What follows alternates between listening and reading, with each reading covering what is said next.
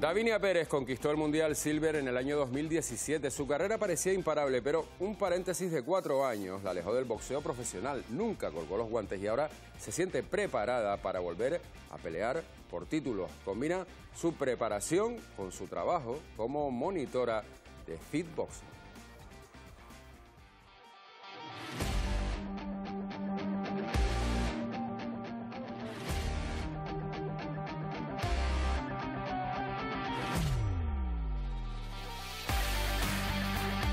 Subió al ring a los 23 años y su manera de golpear hizo que el primer entrenador que tuvo le pusiera como apodo la niña del martillo. Ha pasado más de una década desde entonces y ahora cumplidos los 34, Davinia Pérez ha dejado atrás ese sobrenombre pero no las ganas de demostrar que sigue en la pelea. La suya ha sido una carrera expuesta a los vaivenes de un deporte que le llevó a la gloria en 2017.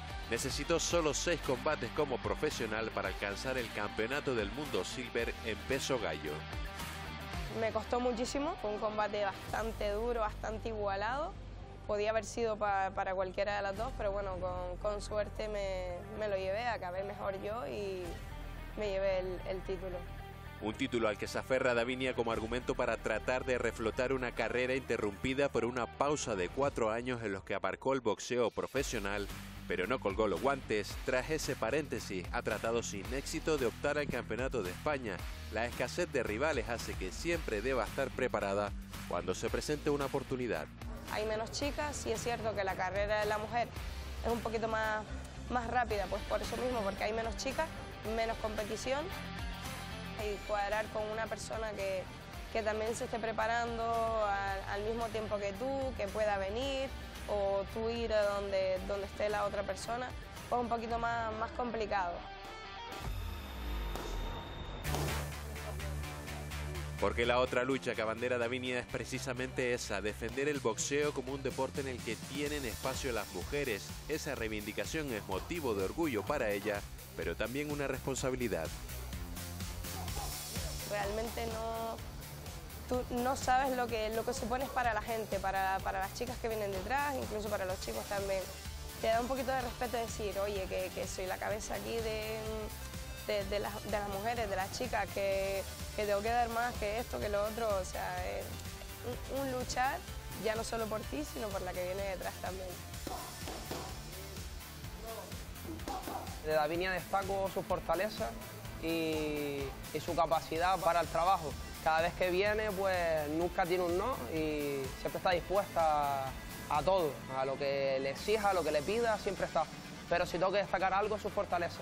Y a esa fortaleza hay que añadirle dosis extra de sacrificio, rigor con la alimentación y el entrenamiento. Pero antes de empezar a golpear el saco cada tarde, Davini ejerce desde primeras horas de la mañana como monitora en un centro en el que imparte clases de fitboxing, una disciplina que combina movimientos de boxeo y kickboxing con ejercicios funcionales. Totalmente diferente aquí, el único contacto que tienes es con el saco, a menos que hagamos algún ejercicio que tengan algún tipo de contacto entre ellos en el sentido de unir las piernas o darse el balón, es el único contacto que tienen las personas allí. Y bueno, es la bomba porque ella sabe mucho, eh, tiene una técnica súper fina, nos controla, nos indica, nos, eso, nos controla todo, ya no solo con, el boxeo, con el saco, los golpes, sino Luego nos vigila hasta demasiado los funcionales y nos, tiene, nos lleva al hilo, pero muy guay, muy guay.